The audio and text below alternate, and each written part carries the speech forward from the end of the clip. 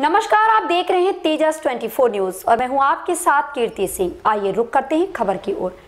सराय मीरा स्थित तहसील के पास सोमवार की दोपहर उस समय अफरा तफरी का माहौल उत्पन्न हो गया, जब बीच रोड पर कुछ युवकों ने एक राहगीर के साथ मारपीट कर दी। इसी बीच वहाँ लोगों की भीड़ जमा हो गई।